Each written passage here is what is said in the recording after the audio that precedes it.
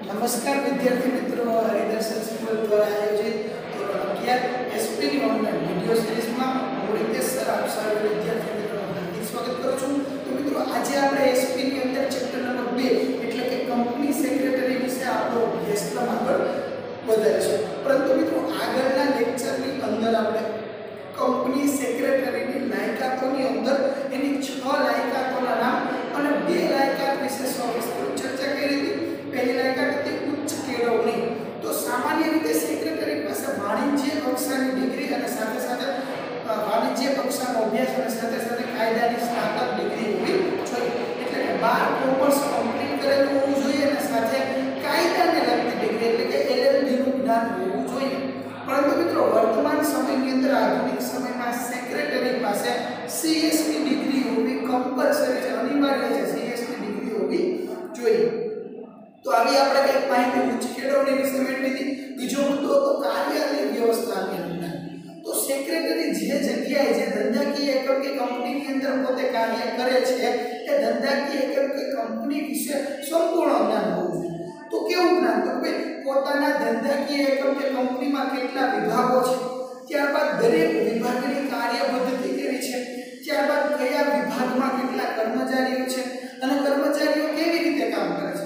આ ઉપરાંત કર્મચારીઓ કરેલા કાર્યોના પત્રકો તૈયાર કરી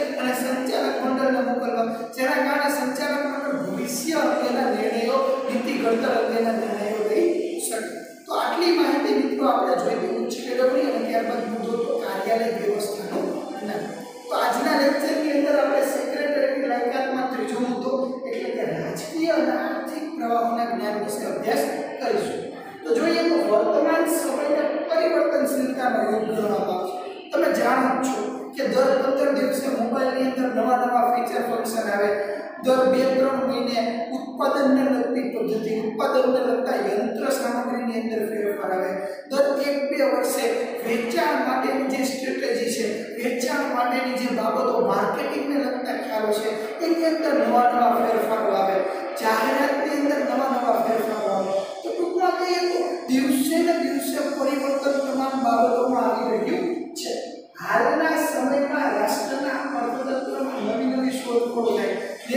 અંદર નવી નવી શોધખોળ થાય. નવી નવી પેટર્ન મળે.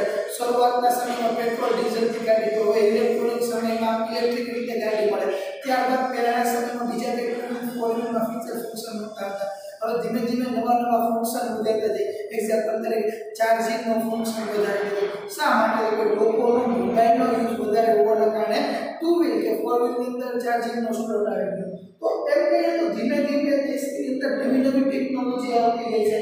અને આવી નવી નવી ટેકનોલોજી અને આ નવા વિચારો, નવી સ્ટ્રેટેજીનું આર્થિક પ્રવાહનું જ્ઞાન સેક્રેટરીમાં હોવું જોઈએ. નવો કઈ વેચાણને લગતો ખ્યાલ બજારની અંદર આવે, ઉત્પાદનને લગતી પદ્ધતિમાં કોઈ નવું મશીનરી, કોઈ નવું યંત્ર આવે, તો તમામ બાબતો વિશે સેક્રેટરી પાસે નોલેજ હોવું જોઈએ. શા માટે?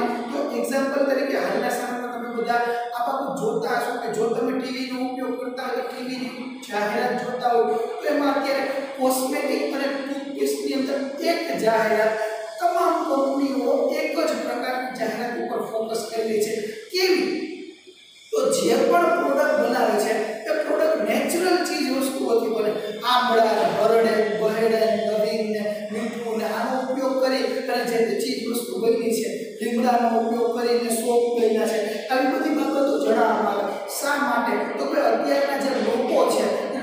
લોકોની એક રિક્વાયરમેન્ટ છે, લોકોની જરૂરિયાત એવી છે કે કુદરતી ચીજ વસ્તુઓ દ્વારા જે તે પ્રોડક્ટ બનેલી હોય, તો એવી પ્રોડક્ટ લોકો વધારે ખરીદે છે.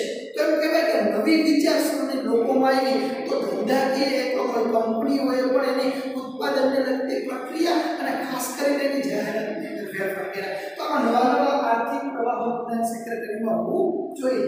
સાથે સાથે રાજકીય બાબતો તદુપરાંત સરકાર દ્વારા કરવેરાનું માળખું બદલે તમે જાણતા નહીં હોય, પરંતુ મિત્રો, બે હજાર ઓગણીસની અંદર એક ટેક્સ ટુ બે હજાર અઢારની અંદર માળખું હતું, જેને આપણે વેટ કહેતા હતા. વેટ એટલે વેલ્યુ એડેડ ટેક્સ પરંતુ ભાજપ સરકાર આવ્યા બાદ કરવેરાના માળખામાં ધરખમ ફેરફાર આવ્યા અને જીએસટી નામનું નવું ટેક્સ માટેનું કર માળખું આવ્યું જેને આપણે ગુડ્સ એન્ડ સર્વિસ ટેક્સ તરીકે ઓળખીએ છીએ. આવતા પરિવર્તન પણ સેક્રેટરીને જ્ઞાન હોવું જોઈએ. ત્યારબાદ વિદેશ વેપારની નીતિ. તો કે એક દેશના બીજી દેશ સાથેના સંબંધો કેવા છે? એ ધંધાકીય એકમ ઉપર અસર કરે. એક્ઝામ્પલ તરીકે, ઈરાનની અંદર ક્રૂડ ઓઇલ નીકળતું બંધ થઈ જાય કે ઈરાન ભારતને ક્રૂડ ઓઇલ આપતું બંધ થઈ જાય. તો એના કારણે ભારતના ઉદ્યોગ ધંધાઓમાં ઘણી વખત ફેરફાર આવતો હોય. ભારતીય ઉદ્યોગ ધંધાઓને અને કંપનીઓને એની અસર થતી તો ખાસ મિત્રો, આ વિદેશ વેપારની નીતિ છે પણ એટલી બધી ઇમ્પોર્ટન્ટ છે, જે બીજી બધી બાબતો. એક્ઝામ્પલ તરીકે, કોઈ કંપનીનો કાચો માલ ચીનમાંથી આવતો હોય અને એ આપણે પ્રોડક્ટ તૈયાર કરીને વેચતા હોય, તો હાલના સમયમાં ચીનમાંથી આપણે ચીજ વસ્તુની ખરીદી ઓછી કરી નાખી. તો ઉદ્યોગ ધંધા ઉપર અસર પડે. ત્યારબાદ ઔદ્યોગિક કાયદાઓમાં પરિવર્તન આવે ઉદ્યોગોને લગતા અલગ અલગ કાયદાઓમાં પરિવર્તન આવે વગેરે જેવી બદલાતી જેવી રાજકીય પ્રવાહોનું જ્ઞાન સેક્રેટરીમાં હોવું જોઈએ આ પ્રકારનું જ્ઞાન સેક્રેટરીમાં હોવું જોઈએ આ એક એમની લાયકાત છે ત્યારબાદ ચોથો મુદ્દો છે કંપની ધારાની જોગવાઈઓ અને વેપારી કાયદાને લગતી માહિતી તો કંપની ધારાની જોગવાઈ એટલે શું તો જોઈ લઈએ મિત્રો થોડી એની માહિતી એક્ઝામ્પલ તરીકે ભારતની અંદર ઓગણીસો સુડતાલીસમાં ભારત દેશ આઝાદ થયો. એ સમયે મિત્રો, એક બે અલગ અલગ પ્રકારના માળખાઓ હતા. ધંધાકીય એકમ પ્રત્યેના. મેં તમને આગળના લેક્ચરની અંદર આપ્યા હતા, સમજાવ્યા હતા. એક માળખું હતું. માત્ર માલિકીને લગતું બીજું માળખું હતું એને થોડું મોટું. જેને આપણે વેપારી પેઢી કહેતા હતા. પરંતુ મિત્રો, ઓગણીસો ને પંચાવન, છપ્પનની આસપાસ ઓગણીસો પચાસ બાવનમાં સરકારી કંપનીઓનું પ્રમાણ વધ્યું.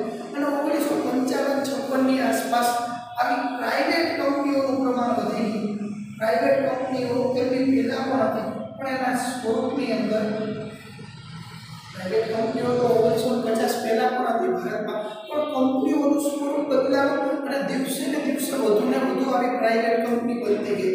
તો આ નવી નવી જે પ્રાઇવેટ કંપનીઓ બને છે આ નવી નવી પ્રાઇવેટ કંપનીઓ માટે સરકારને એક કાયદો બનાવવાની જરૂર પડી. જેને મિત્રો કંપની ધારા એક્ટ ઓગણીસો ને છપ્પન તરીકે ઓળખવામાં આવતો. ઓગણીસો છપ્પનનો કંપની ધારા એક્ટ બન્યો. એ કંપની ધારા એક્ટની અંદર કંપની એટલે કંપની માટેનો ધારા એટલે અલગ અલગ પ્રકારના કાયદાકીય નિયમો સમૂહ છપ્પનની અંદર આ કાયદાની અંદર જેટલા પણ નીતિ નિયમો આપેલા છે, એ તમામ નીતિ નિયમોનું પાલન જો કોઈ કંપની કરશે, તો એ કંપનીને કંપની સ્વરૂપનું એને એક સર્ટિફિકેટ આપવામાં આવશે. નકર પછી જે તે કંપનીનું લાયસન્સ કંપની રદ કરી નાખશે.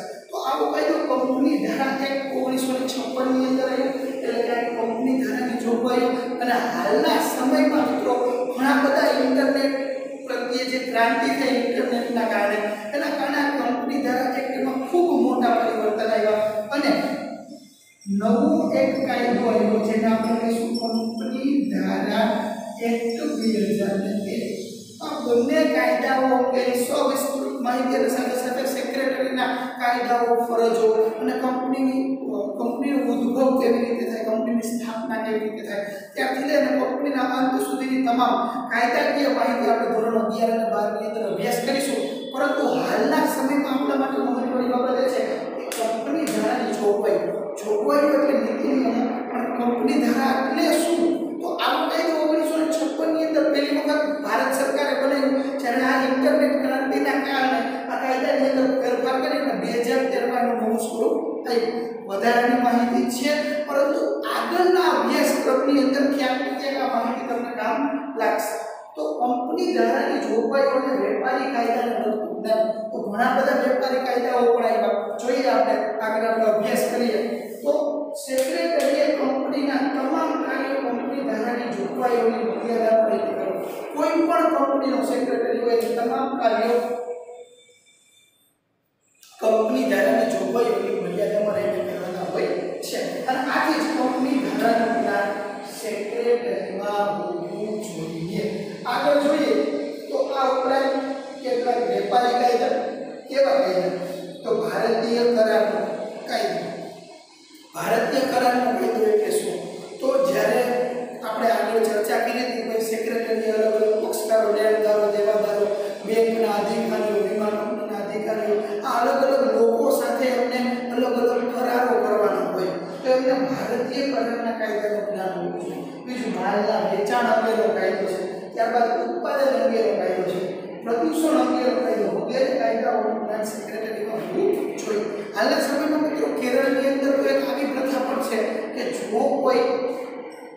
ધંધાકીય એકમ ચીજ વસ્તુનું ઉત્પાદન કરે અને એના દ્વારા પ્રદૂષણ ફેલાતું હોય, તો એની જે ભઠ્ઠી હોય, બરોબર કે જ્યાં પ્રદૂષણ ફેલાય, ત્યાં એક ઉપર મીટર લગાવી દેવામાં આવે.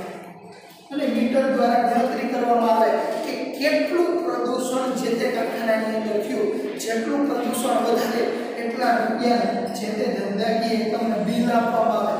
અને સરકાર આવા અલગ અલગ બિલ દ્વારા આવા નાણાં જે એકઠા કરે એ નાણાંને અલગ અલગ વૃક્ષો ઉગાડવા માટે પોતે આગળ કાર્ય કરે શા માટે કે આજે પ્રદૂષણ થયું એને પાછું ઓછું નથી કરી શકાતું. પરંતુ વૃક્ષો જો વધારવામાં આવે તો આપણે આજે બેલેન્સ છે એ પર્યાવરણનું બેલેન્સ જળવાઈ ગઈ તો આમના માટે પ્રદૂષણને લગતા પણ દેશની અંદર ઘણા બધા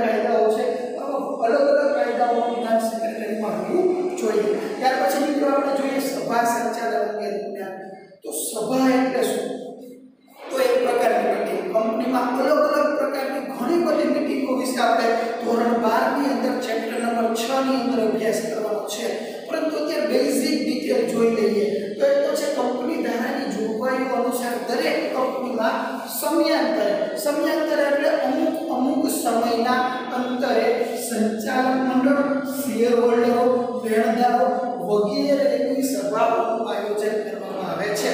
હવે એક બાબત કહી દઉં કે જ્યારે પણ ધંધાકીય એકમમાં જરૂરિયાત રહે ત્યારે સંચાલક મંડળની સભા યોજે ક્યારે યોજે તો હમણાં આપણે આગળના તો કે સંચાલક મંડળની સભા ઘણી બધી વખત અલગ અલગ પ્રકારના કાયદાઓમાં મીન્સ કે પોતાના ધંધાકીય એકમના નીતિ નિયમો બનાવવા માટે જરૂરિયાત પડે તો બીજો મુદ્દો છે શેર હોલ્ડરોની સભા ક્યારે યોજે તો દર વર્ષે વર્ષની અંદર એક વખત વર્ષનો અંત આવે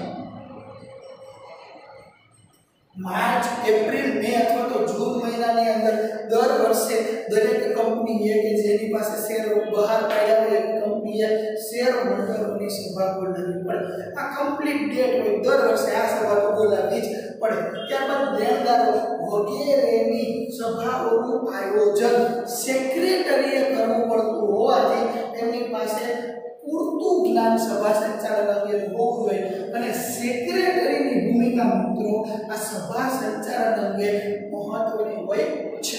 તો પ્રશ્ન એ થાય કે ભાઈ આ સભાની અંદર એવું બધું શું હોય કે જે સેક્રેટરીએ કરવાનું? જોઈએ આગળ. તો સેક્રેટરીએ સભા પહેલા, સભા નોટિસ સભા નોટિસ એટલે શું? એક્ઝામ્પલ તરીકે કંપનીની અંદર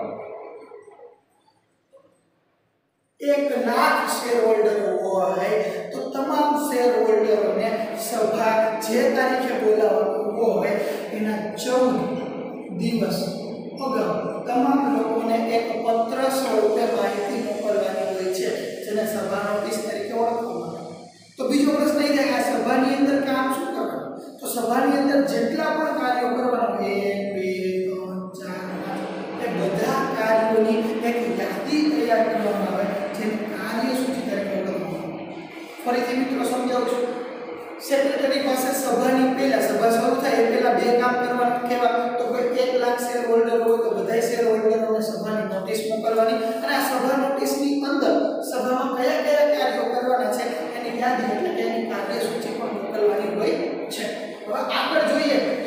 સભાને મોકલવું આગળ જોઈએ તો સભા દરમિયાન ગૌણ સંખ્યા પ્રોક્સી અંગે તપાસ કરવી આ બે કાર્ય તો ગૌણ સંખ્યા એટલે શું?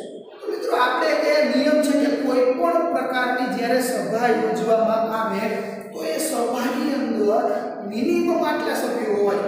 એક્ઝામ્પલ તરીકે, એક લાખ શેર હોલ્ડરો આપણે કીધું. તો એક લાખ શેર હોલ્ડરોમાંથી મિનિમમ દસ હજાર શેર હોલ્ડરો હાજર હોય તો જ સભા શરૂ કરવામાં આવશે. જો આટલા પણ શેર હોલ્ડરો હાજર ન હોય તો સભાની ડેટ પોસ્ટપેડ કરો આગળની ડેટ સભાની આપવામાં આવે. તો આને કહીશું ગૌણ સંખ્યા કે મિનિમમ આટલા વ્યક્તિ તો હોવા જ જોઈએ. આગળ આપણે ત્યાર પછી ચર્ચા કરી તો પ્રોક્સ પ્રોક્સી એટલે શું? તો કે મેં કંપનીના શેર ખરીદ્યા, પરંતુ હું કંપનીમાં આવી શકું એમ છું નહીં. તો આવા સંજોગોમાં મારા વતી અન્ય કોઈ વ્યક્તિ સભાની અંદર હાજર થઈએ તો મિત્રો આપણે એને કહીશું પ્રોક્સ આવો શબ્દ આપણે શાળાની અંદર સાંભળો હોય. કોઈ શિક્ષક બીમાર પડ્યા હોય કે ન આવી શકે એમ હોય, તો એમની બદલે અન્ય કોઈ શિક્ષક આવે લેક્ચર લેવા માટે આપણે કે પ્રોક્સીમાં જે તે નવા શિક્ષક આવ્યા તો એવી રીતે કોઈ શેર હોલ્ડરે કંપનીની સભામાં જવાનું હોય અને પોતે જઈ ન શકે, તો એમના વતી જે વ્યક્તિ છે એના પ્રોક્સી તો આવી પ્રોક્સી અંગેની તપાસ પણ સેક્રેટરીએ કરવાની હોય છે. હવે જોઈએ તો સભા પૂરી થઈ ગયા પછી કયા કયા કામ કરવા? તો સભા ચાલુ હોય ત્યારે જે અલગ અલગ કાર્યો કે જે નિર્ણયો લેવામાં આવ્યા, તે નિર્ણયોને લખવાનું કામ હોય જેને આપણે સભાનું શું કહીશું? સભા સભા પૂરી થઈ જાય ત્યારબાદ સભાનો દાખલ તૈયાર કરે. વગેરે કાર્યો સેક્રેટરીએ કરવાના હોવાથી સેક્રેટરીમાં સભા સંચાલન જ્ઞાન હોવું જોઈએ ફરીથી મિત્રો સભા નોટિસ સભા નોટિસ એટલે જે વ્યક્તિઓને આપણે સભામાં બોલાવવાના છે એમને એક પત્ર મોકલવો જેને આપણે સભા નોટિસ કહીશું. કાર્યસૂચિ એટલે શું? તો કે સભાની અંદર કયા કયા કાર્યો કરવાના એની યાદી તૈયાર કરી અને સભા નોટિસની અંદર મોકલવાની રહેશે. ત્યારબાદ ગુણ સંખ્યા એટલે શું? ઓછામાં ઓછા કેટલા લોકો હાજર રહેશે?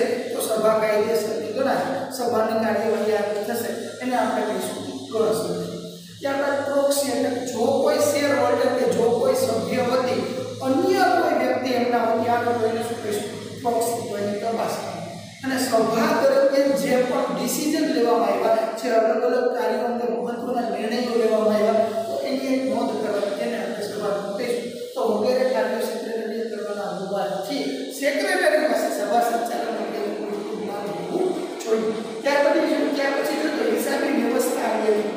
તો કંપનીમાં હિસાબ વિભાગ દ્વારા રોજે રોજ થાય અને વ્યવસ્થિત રીતે તૈયાર થાય એ મહત્વનું છે. ભૂલ થાય છે કે નહીં તે જોવાની ફરજ. તે જોવાની ફરજ. સેક્રેટરીની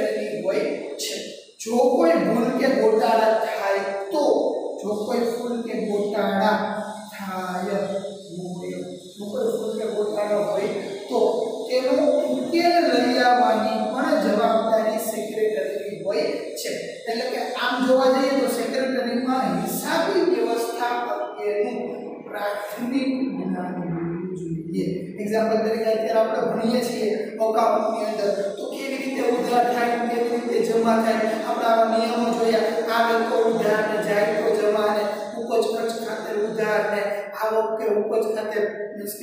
ખર્ચ ખાતે ઉધાર અને આવક આવે જમા. આવા જે નિયમો છે, આવી જે બેઝિક માહિતી છે, એ તમામ પ્રકારની માહિતી સેક્રેટરી પાસે હોવી જોઈએ. કારણ કે હિસાબ વિભાગની કોઈ વ્યક્તિ જાણી જોઈને ભૂલ કરે, તો એ ભૂલ શોધવાની અને ઉકેલ લઈ આવવાની જવાબદારી પણ સેક્રેટરીની છે. તો મિત્રો, આજના લેક્ચરની અંદર આપણે